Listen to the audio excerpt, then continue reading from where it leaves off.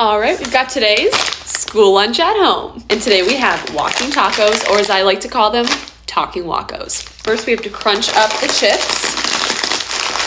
So first we're gonna add the beef and the cheese. Then add the sour cream, some onions, lots of lettuce, a little more cheese, and now shake it up. Oh, should look something like this. Now that it's all mixed up, we can enjoy our delicious walking taco.